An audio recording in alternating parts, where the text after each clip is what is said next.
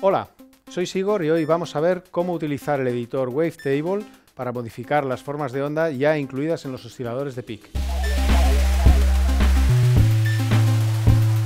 Tenemos nuestro sintetizador Novation Peak aquí encima de la mesa y hemos puesto como controlador a este pequeñito AFX Station. Pero hoy lo que vamos a ver es cómo puedo crear mis propios sonidos base, mis propias formas de onda a través del editor de Wavetable de Novation Peak. Para ello lo primero que voy a hacer es inicializar el preset y crear lo que yo llamo el sonido más feo del mundo. Es un sonido que únicamente está formado por la forma de onda em, del primer oscilador, a pelo, sin nada, sin ningún tipo de ajuste de filtro y demás, pero sirve perfectamente para lo que os quiero enseñar. Gracias a Novation Components, que como seguramente sepáis es el editor propio de Novation para prácticamente todo el hardware que ellos eh, fabrican, podemos profundizar como es debido en todo el hardware de Novation. Una de las cosas de las que se beneficia especialmente Novation Peak y su hermano mayor Summit.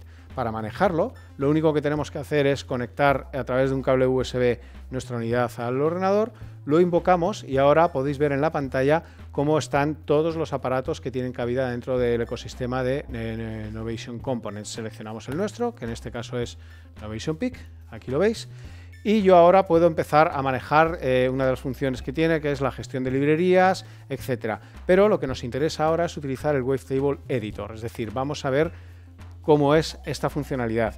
Una de las eh, últimas añadidos que hubo en el último firmware de Novation Peak fue precisamente la capacidad de que sus osciladores pudieran trabajar en entorno wavetable, es decir, que cada uno de ellos no genere una única forma de onda, sino que genere un compendio de hasta 5 formas de onda a través de las cuales hacer morphing. Vamos a ver cómo funciona esto. Para ello, yo lo que hago es decirle a PIC que cree una nueva wavetable, que podéis ver aquí representada, y ahora lo que vamos a hacer es cambiar la forma de onda que genera el primer oscilador, recordad que es el único que está sonando, a una forma de onda de las que llama user, de usuario.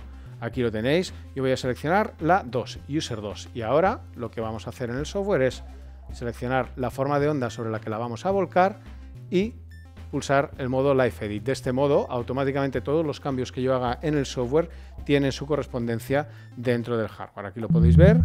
Estamos lanzando una pequeña secuencia desde el secuenciador de pasos de AFX Station hacia aquí. Y ahora lo que vamos a hacer es explicar en la medida de lo posible cómo funciona este wavetable. Podéis ver en la pantalla que yo tengo cinco slots que ahora mismo están emitiendo todas ellas la misma forma de onda, es decir, este, eh, esta onda senoidal. Yo voy a seleccionar la de en medio y os digo que estas cinco formas de onda están repartidas a lo largo del recorrido de este potenciómetro, de manera que yo ahora mismo estoy haciendo sonar la que está colocada, digamos, a las 12, que es la que podéis ver aquí, Wavetable 3. Y una vez que la tengo cargada, yo puedo modificar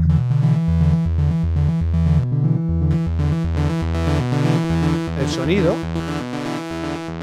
de esta forma de onda que estoy generando. Puedo añadir armónicos, fijaos cómo cambia. Puedo trabajar sobre la fase de cada uno de los segmentos, pero como os decía antes, tenemos cinco de estas, de manera que cuando yo muevo el potenciómetro hacia otra posición, vuelvo a mi sonido original. Me he llevado el potenciómetro a la derecha del todo. Si lo hacemos corresponder con un reloj, prácticamente estoy en las 5 de la tarde. Y esto tiene la correspondencia con esta forma de onda. De manera que, fijaos, yo aquí ahora lo que voy a hacer es utilizar la herramienta de la línea y vamos a pasar una forma de onda de este tipo. Yo puedo además ajustar mi dibujo a la cuadrícula, la cual puedo definir en tamaño, y si quiero hacer algo, digamos, que tenga un sentido más exacto, más matemático, lo puedo hacer sin ningún tipo de problema. Fijaos que yo ahora puedo pasar, y esto es muy importante, haciendo morphing de una posición hacia otra. Fijaos cómo el sonido va cambiando.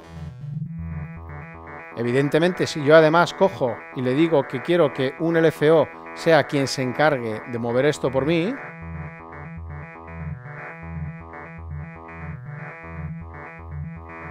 Fijaros cómo ahora este movimiento es total y absolutamente rítmico. Fijaos, vamos a coger, Vamos a quitar esto. Y vamos a volver al modo manual. Porque otra de las funciones que tengo es que yo puedo importar wavetables nuevos para cada uno de los para cada uno de los, eh, de los slots y lo puedo hacer además de varias, de varias maneras aquí en wavetable em, settings yo puedo dibujar eh, perdón colorear cada una de mis de mis pero yo como os decía a través de eh, estos menús puedo importar mi propio wavetable y puedo hacerlo en dos formatos diferentes. El primero de ellos es puedo importar un archivo de audio al completo. Yo puedo tener una muestra metida dentro de mi ordenador, la muestra que sea, la abrimos, vamos a parar un momento la secuencia, seleccionarlo y importarlo, bien como forma de onda o bien directamente convertirlo a una wavetable completa y compleja. De manera que yo ahora tengo, con la operación que he hecho, estos cinco estadios diferentes de formas de onda con los que trabajar. Aquí veis cómo suena esta forma de onda. Esta sería esta, el index 2, el slot 2.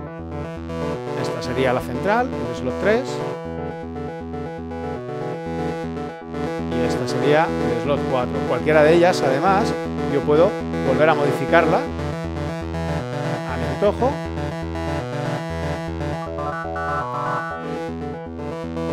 Y evidentemente esto es compatible con todo el resto de ajustes de Innovation Peak.